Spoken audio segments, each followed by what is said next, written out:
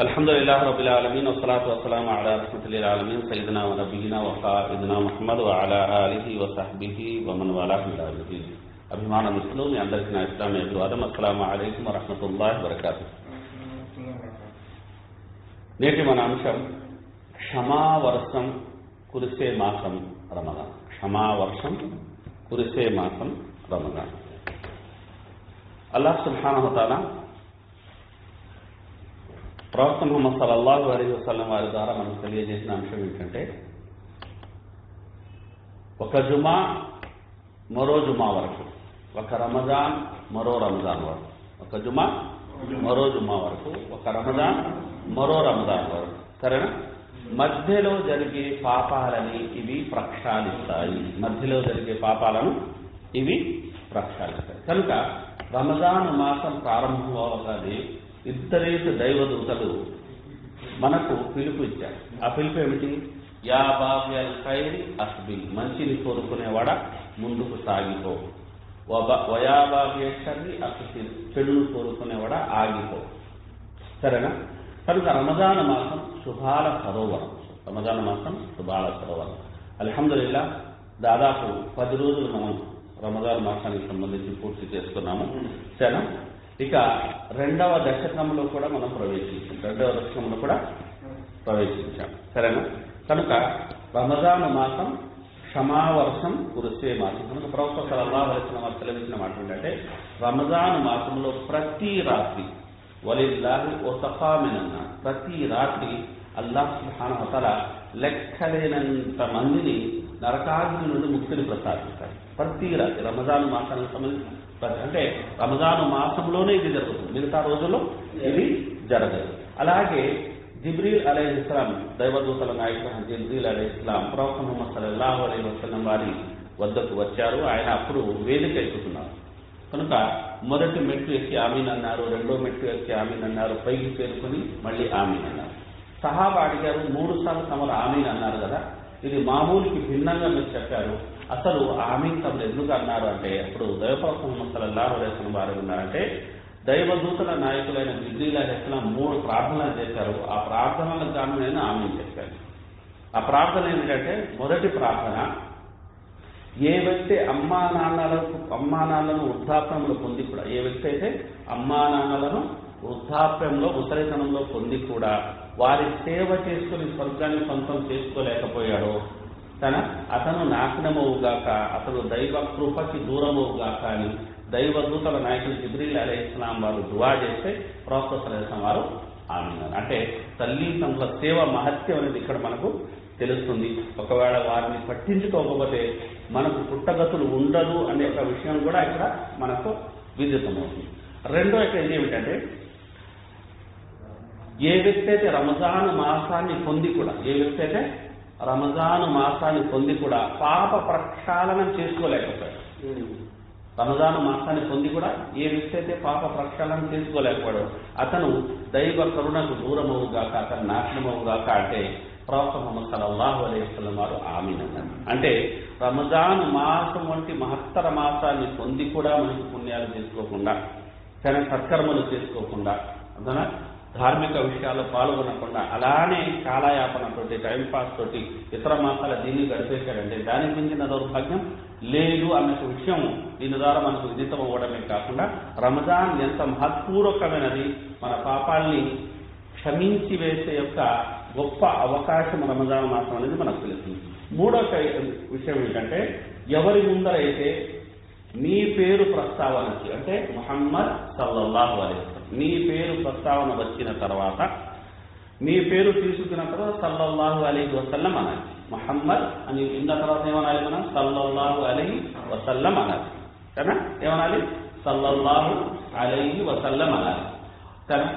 విన్న తర్వాత తెలిసి కూడా ఎవరైతే సల్లల్లాహు అలీ వసల్లం అనరో వారు అల్లాహ్ కృపకు కరుణకు దూరం దూరమవుగాక అంటే ప్రవక్త ముహమ్మద్ సల్లల్లాహు అలైస్లం వారు ఆమీన్ అన్నారు. దీన్ని బట్టి ప్రవక్త ముహమ్మద్ సల్లల్లాహు అలై వసల్లం వారి యొక్క నామం తీసుకున్న ప్రతిసారి మనం సల్లల్లాహు అలై వసల్లం అనాలి దీనివల్ల మనకు కలిగే ప్రయోజనం ఏమిటంటే పది పుణ్యాలు మనకు లభిస్తాయి స్వర్గపు పది హోదాలు పెంచబడతాయి అలాగే పది పాపాలు తన తుడిచివేయబడతాయి. అంటే ఒక్కసారి మనం సల్లల్లాహు అలైహి వసల్లం అంటే ముప్పై యొక్క ప్రయోజనాలు మనకు దీనివల్ల లభిస్తున్నాయి. ఇంత తెలిసి కూడా ఒక వ్యక్తి అనేది చాలా దరూదు పంపించడం లేదు. ప్రవక్త సలల్లాహు అలైస్లం వారి మీద అంటే అతని మించిన పిచ్చినారు ఇంకెవరు కాగలడు కనుక ప్రవక్త ముహమ్మద్ సలల్లాహు అలీ వసల్లం వారు వేరొక సందర్భం చెప్పిన మాట ఏంటంటే ప్రపంచంలో ఉన్న పిచ్చినారుల్లోకెల్లా గొప్ప పిచ్చినారు ఎవరంటే చాలా ఉచితంగా ముప్పై వస్తున్నప్పటికీ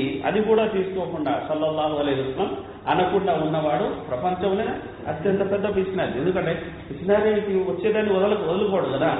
కానీ ఇంకా వస్తున్న అతను వదులుకుంటున్నాడు అంటే అతనికి మించిన దౌర్భాగ్యుడు మరొకడు లేదు. ఇక అల్లాహ్ సుమాన్ల ఖురాన్లో సెలవిచ్చిన మాట అంటే హుల్ యా ఇబాది అల్లదిన అస్రఫు అలా అనిపించుకు లా తప్పనతుంది మన నిత్య జీవితంలో చిన్న చిన్న తప్పులతో పాటు పెద్ద యొక్క తప్పిదాలకు కూడా మనం పాల్పడుతూ ఉంటాం ఒక నిమిషం అన్యాయంగా వివరిస్తుంటాం అనరాని మాట అనేసుకున్నాం సరేనా? వెళ్ళరాని చోటికి వెళ్ళి వెళ్తూ ఉంటాం. చూడరానిది మనం చూసుకుంటే ఇలాంటి జరుగు జరుగుతుంటాయి. కనుక అల్లాహ్ ఏమంటున్నాడు ఇలా జరిగే క్రమంలో మనిషి ఏమవుతాడు? పాప ఊబిలో కూరుకోగా శైతాన్ అతన్ని నిరాశ ముద్రాలు గురి చేస్తాడు.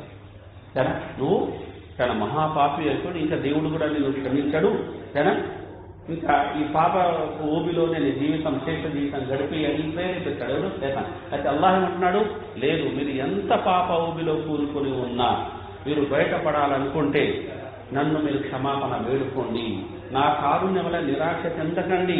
జన మీ పాపాలు ఆకాశాన్ని అంటుతున్నా సరే మీరు క్షమాపణ వేడుకుంటే మీ పాపాలను మన్నించడానికి నేనున్నాను.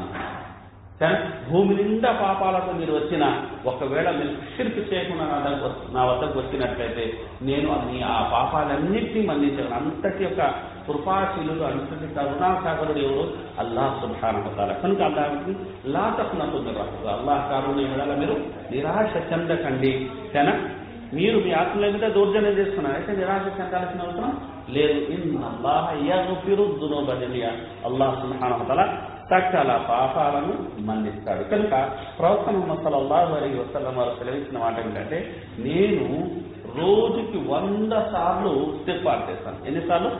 రోజుకి వంద సార్లు. ప్రవక్త మారేవారని ఎవరని పాపరహితులు. అయినప్పటికైనా రోజుకి వంద సార్లు ఇస్తిఫార్ చేసేవారంటే ఇంకా పాప ఊబిలో లోతుకు కూరుకుపోయిన మనం రోజుకి ఎన్నిసార్లు ఇస్తిఫార్ చేయాలి? కనుక ఇస్తిఫార్ అనేది సకల మేళ్ళకు తాళం సకల మేళ్ళకు సకల శుభాలకు తాళం చేయండి. ఇస్తిఫార్. కనుక హసన్ బస్రీ రహ్మహుల్లా వద్దకు ఒక వ్యక్తి వచ్చి నాకు సంతానం లేదంటే ఇస్తిఫార్ చేయండి మరో వ్యక్తి వచ్చి మా వద్ద అనేది కరువు పరిస్థితి ఉంది అంటే కానీ ధాన్యం ఒక కొరత ఉంది అంటే ఇస్తిఫార్ చేయండి మరో వ్యక్తి వచ్చి మా వద్ద అసలు వానలే లేవు. కానీ చచ్చిపోతున్నాయంటే ఇస్తిఫాక్ చేయమని. అంటే వచ్చిన ముగ్గురు వ్యక్తులు మూడు వేరు వేరే సమస్యలు.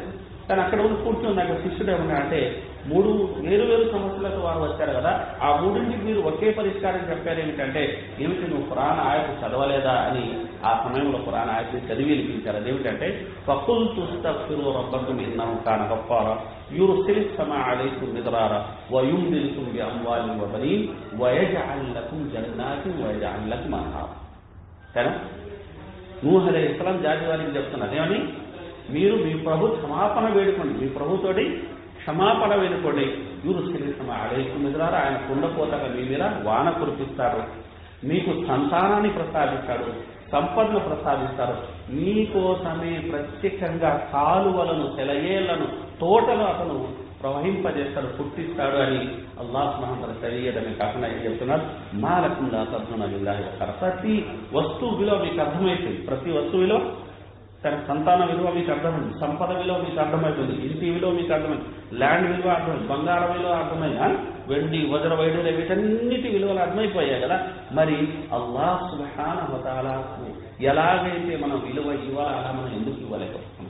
అల్లాహను మనం ఎందుకు అలా గౌరవించుకోలేకపోతుంది అన్ని ఇవ్వగలిగే శక్తి ఎవరికి ఉంది? కేవలం అల్లా సుబ్హానహు తాలాకు ఉంది. కనుక అభిమానం ద్వారా ఇస్తిఫార్ అనేది సకల మేళ్ళకు తాళం చెయ్యేది ఇస్తిఫార్ కనుక ఇక్కడ ఆ, కొన్ని విషయాలు మీ దగ్గర పెట్టి నా మాట నేను పూర్తి చేసిన అదేమిటంటే మనం రేపు మన కర్మల పత్రంలో మేళ్ళు నిండి ఉండాలి అంటే మన చెప్పాలి ఎక్కువ. మేళ్ళు మన కర్మల పత్రంలో అన్ని మంచి విషయాలు కనబడాలంటే మనం ఎక్కువ ఏం చేయాలి? ఇస్తిఫార్. నడుస్తూ ఇక్కడ వచ్చారు కదా మీరు?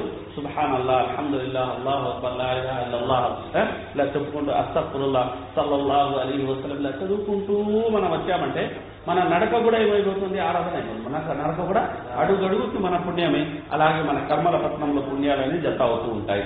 అలాగే అభిమానం ద్వారా విశ్వాసుల లక్షణాలు ఏమిటంటే ఒక తప్పిదం జరిగిపోయిన తర్వాత తన దాని మీద మళ్ళీ మంకుబొట్టు అనేది వారు పట్టరు. కానీ వెంటనే ఏం చేస్తారు? వదిలేసి సరే ఇక మీదట అలాంటి తప్పిదం చెయ్యని లెంపలేసుకొని వారేం చేస్తారు? పశ్చాత్తాపం చెందుతారు. కనుక అలాంటి వారి కోసం అల్లాహ్ సుమహానతల స్వర్గవనాల్ని తన సిద్ధపరిచాడు అని అల్లాహ్ సుమహానతల తెలియడం అనేది జరిగింది. ఇక ఇస్తిఫార్ యొక్క పదాలు మనం తీసుకోవాలి. ఇస్తిఫార్ పదాలు అంటే ఉదాహరణకు ముక్తసరిగా చెప్పాలంటే అస్తఫరుల్లా ముక్తసరిగా అంటే అస్తఫరుల్లా వాళ్ళ నేను నీ యొక్క క్షమాపణను వేడుకుంటున్నాను. వాళ్ళ నేను నీ క్షమాపణను వేడుకుంటాను దీని ఏమంటారు? అస్తఫరుల్లా సార్ ఇంకాస్త పెద్దదంటే అస్తఫరుల్లా వాసుదేవి ఇంకాస్త పెద్దదంటే అస్తఫరుల్లా వాసుదేవి వల్ల నేను నీ క్షమాపణను వేడుకుంటున్నాను. అలాగే నీ వైపునకు మళ్ళుతున్నాను. నీ వైపునకు మళ్ళుతున్నాను. సరే? ఇక ఆ పెద్దది అంటే అంటే సయ్యదులు ఇస్తిఫార్. పెద్దది అంటే సయ్యదులు ఇస్తిఫార్. అంటే ఇస్తిఫార్లలోనే నాయకుడు అధినాయకుడు అనమాట ఈ దువా. సరే? అది ప్రతిరోజు ఉదయం సాయంత్రం మనం చదివామంటే చాలా దానికి మించిన మహాభాగ్యమే మరొకటి లేదు. కనుక అల్లాహం అంతరం ఇలా ఇలా ఇలాహ ఇల్లా خلقتني وانا عبدك وانا على عهدك ووعدك ما استطعت اعوذ بك من شر ما صنعت ابوء لك بنعمتك علي وابوء بذنبي فاغفر لي فانه لا يغفر الذنوب الا انت దీన్ని ఏమంటారు సయ్యిదుల్ ఇస్తిఫార్ ఏమంటారని సయ్యిదుల్ ఇస్తిఫార్ అంటారు కనుక ఈ ఇస్తిఫార్ ని ముక్తసరిగా ఏం చెప్పుకున్నాం అస్తఫుల్లా ముక్తసరిగా ఏంటి అస్తత్వం సరే? కనుక నమాజ్ తర్వాత కానీ హజ్ తర్వాత కానీ ఏ ప్రార్థన మనం చేసిన తర్వాత కానీ ఏం చేయమన్నారు ప్రవక్తలు ఇస్తిఫార్. ఏంటి మంచి పని ఏదో చేసాం మళ్ళీ ఎందుకు ఇస్తిఫార్ చేస్తున్నా అంటే ఆ మంచి పని కూడా ఎలా చేయాలో అలా చెయ్యలేదు కనుక అందులో కూడా లోపం ఉంటుంది కనుక క్షమించు దేవా అని మనం అల్లాహం వేడుకున్నాం. కనుక అభిమానం ద్వారా ఒక మన తప్పిదం అనేది మన నుండి దూరం అవ్వాలి మన దాన్ని వదలాలి అంటే దాని మీద పశ్చాత్తాపడాలి మళ్ళీ చెయ్యమని సరే మనం నిశ్చయించుకోవాలి అల్లాహ్ క్షమాపణ వేడుకోవాలి. ఎవరైనా హక్కు ఒకవేళ మనం సహా చేస్తుంటే ఆ హక్కుని వారికి తిరిగి మనం ఇచ్చేయాలి. కనుక ఇవి కొన్ని ఇస్తిఫార్కి సంబంధించిన విషయాలు అల్లాహ్ మహాత్ల మనందరికీ క్షమావర్షం కురిసే ఈ మాసంలో క్షమాభిక్ష పెట్టి తన స్వర్గవనాలను విహరింపజేయాలని మనం పూర్వకంగా వేడుకుంటూ ఇంతసేపు శ్రద్ధగా విన్నందుకు మీ అందరికీ హృదయపూర్వక ధన్యవాదాలు. జాక్ముల్లాఖరన్ అస్సలం అలైకుం వరహమతుల్లాహి వరకాతు